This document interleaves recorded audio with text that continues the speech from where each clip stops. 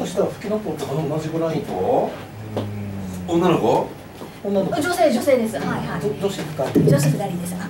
でもあのこっち行く方面であの武蔵野タンポポ団ってのがあったけど。あ それは分かんないですよ。あったんだよ。武蔵野タンポポ団って。あったのフォークソングのグループで。よよろしいですかね。おじおじ歌いますよ、関